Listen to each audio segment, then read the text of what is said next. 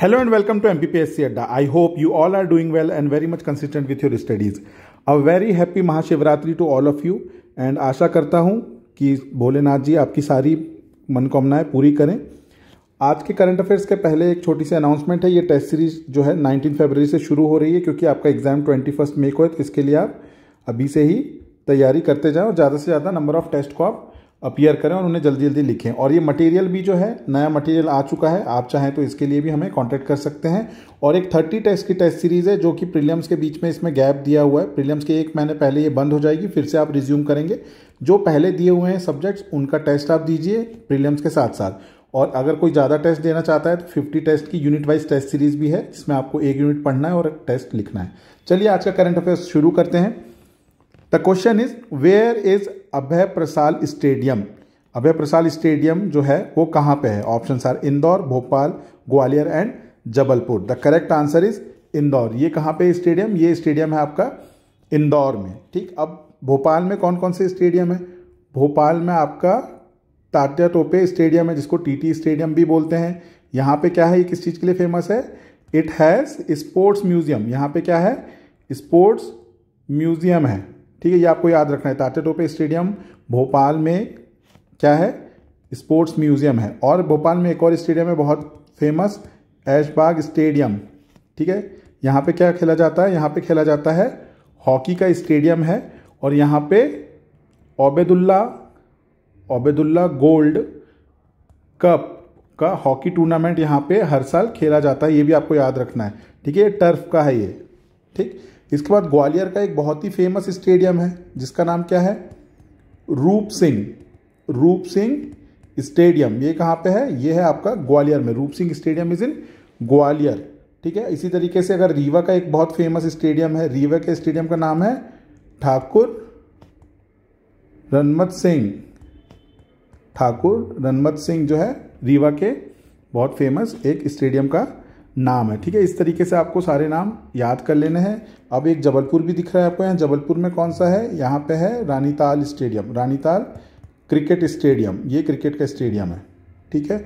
अब मुझे एक इंपॉर्टेंट एक आपको चीज़ बतानी है। वो ये है कि ये जो है, देखिए आप directorate of sports and youth welfare department and youth welfare department was established on किस डेट पे इस्टेब्लिश किया गया था? Sports and youth welfare department या स्पोर्ट्स डिपार्टमेंट एमपी का फ़र्स्ट ऑफ़ अक्टूबर 1975 ये मैं इसलिए बता रहा हूँ क्योंकि स्पोर्ट्स स्पेसिफिकली सिलेबस में दिया हुआ है और बहुत सारे स्पोर्ट्स के इवेंट्स अभी रिसेंट पास्ट में एक दो महीने में हुए हैं।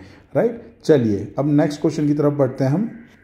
The next question is about one of the central government scheme जिसका नाम है अमृत टू पॉइंट ज़ीरो अब अमृत का पहले फुल फॉर्म ये भी आ सकता है आपके एग्ज़ाम में, वो है Atal mission Atal mission for rejuvenation and urban transformation ठीक है? ये अटल का फुल फॉर्म है।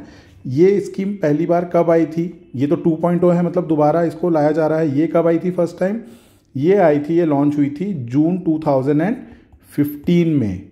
और ये जो 2.0 है, ये फ़र्स्ट अक्टूबर से 2021 के आई है। अब क्वेश्चन की तरफ़ हम ध्यान देते हैं।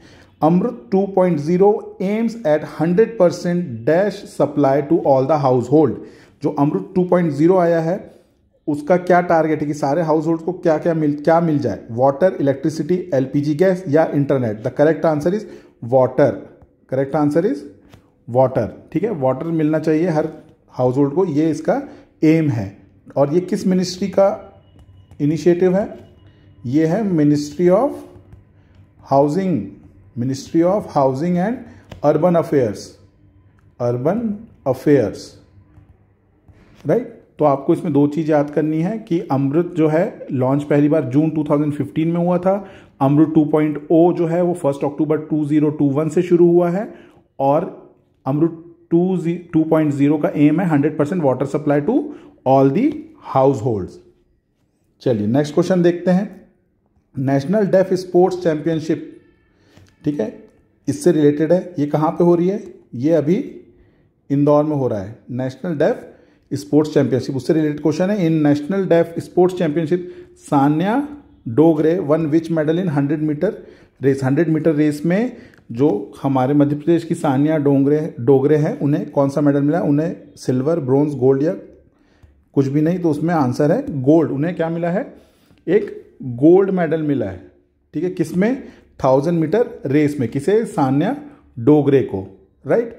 और एक और है, आकांक्षा नाम के स्पोर्ट्स पर्सन है, उन्हें क्या मिला है? उन्हें भी गोल्ड मिला है, बट जूडो में। तो जूडो में आकांक्षा, इनको मिला है और सान्या को किसमें मिला है? Hundred sorry thousand metre race में।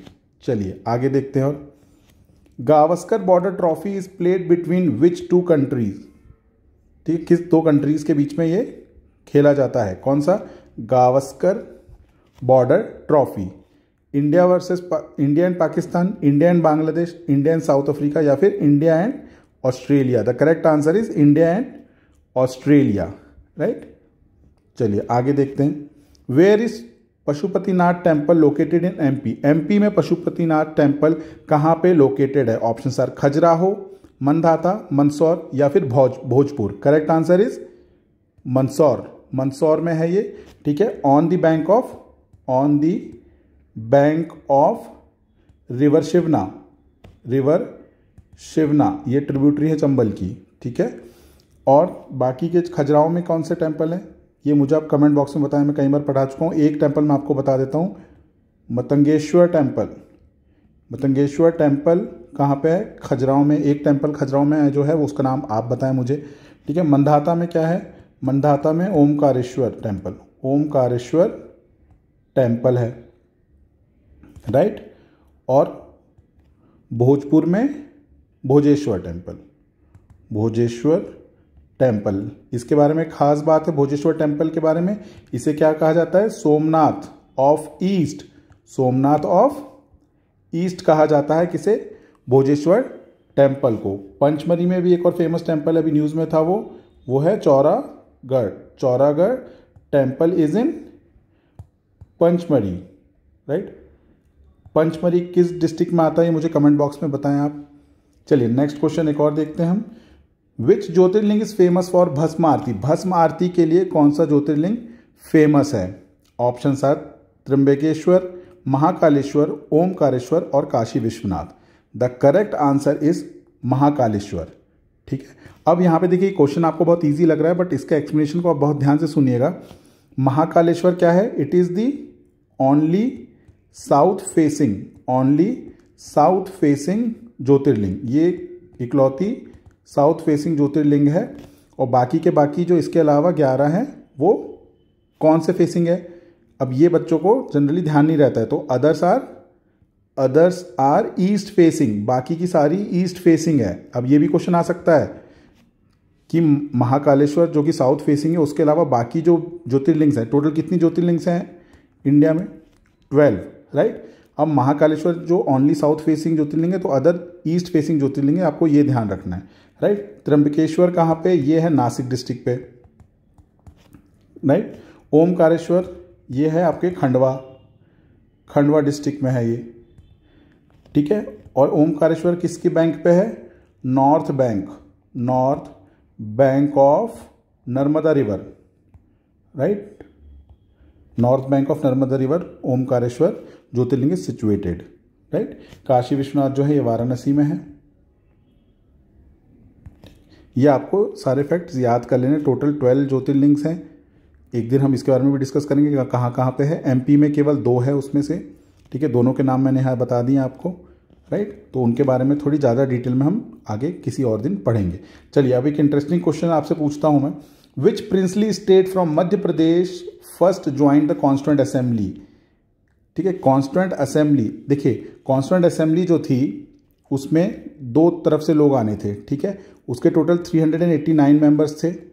उसमें से कुछ आपके आने थे प्रिंसली स्टेट से और कुछ आने थे आपके प्रोविंसेस से, ठीक है? प्रोविंसेस की जो लेजिस्लेटिव असेंबली थी, वहाँ से आने थे। अब सिंपल सा क्वेश्चन है कि जो प्रिंसली स्टेट थे, उनके रिप्रेजेंटेटिव इनिशियली नहीं आए थे, उन्होंने बाद में ज्वाइन किया था। तो एमपी में ऐसा कौन सा प्रिंसली स्टेट है जिसने सबसे पहले कॉन्स्टिट्यूंट असेंबली को ज्वाइन किया था? Option are Rewa Indore Bhopal and Gwalior the correct answer is Rewa Rewa ने कब ज्वाइन किया था? रीवा ने किया था ट्वेंटी एथ ऑफ़ अप्रैल 1947 ठीक है? इस डेट पे एक्चुअली छः प्रिंसली स्टेट्स के रिप्रेजेंटेटिव्स ज्वाइन किए थे। ठीक है? उसमें से एक था रीवा हमारे लिए रीवा ज़्यादा इंपॉर्टेंट है अदरवाइज़ छः में तो आपके जोधपुर, जयपुर राइट बड़ोदरा, पटियाला, बीकानेर, ये थे, ठीक है? One two three four five और इस सिक्स आपका रीवा। छः प्रिंसली स्टेट्स ने ज्वाइन कर लिया था कॉन्स्टिट्यूंट असेंबली को 28 अप्रैल 1947 में। बट हमारे लिए इंपॉर्टेंट ये है कि एमपी का कौन सा प्रिंसली स्टेट था जिसने पहले ज्वाइन किया था राइट चलिए नेक्स्ट क्वेश्चन देखते हैं। अच्छा यहाँ पे लास्ट में जब शुरू में इतना हुआ, कितने? 389 थे। बट लास्ट में फाइनल कितने बचे थे? इसमें कमेंट बॉक्स में मुझे बताएँ फाइनल जब पार्टीशन के आफ्टर पार्टीशन कितने रह गए थे मेंबर्स और कितनी फीमेल मेंबर्स थी? Total there were 15 female members were there in the constituent assembly ये आपको ध्यान रखना है राइट चलिए next question which princely state never join the constituent assembly इनमें से कौन सा प्रिंसली स्टेट है जिसने कभी भी कॉन्स्टिट्यूंट असेंबली को ज्वाइन नहीं किया? Option are Junagadh Jammu and Kashmir Bhopal and Hyderabad right Hyderabad is the correct answer Hyderabad ने कभी भी कॉन्स्टिट्यूंट असेंबली को ज्वाइन नहीं किया था तो ये आपको अच्छे से याद रख लेना है कि इसका आंसर है हैदराबाद ठीक है? आप देख सकते हैं, जो भी आप हमसे कोई भी कोर्स या कुछ भी मटेरियल कुछ भी है तो इस पर आप हमें इंक्वायर करके उसको अवेल कर सकते हैं। Thank you very much have a good day good luck to you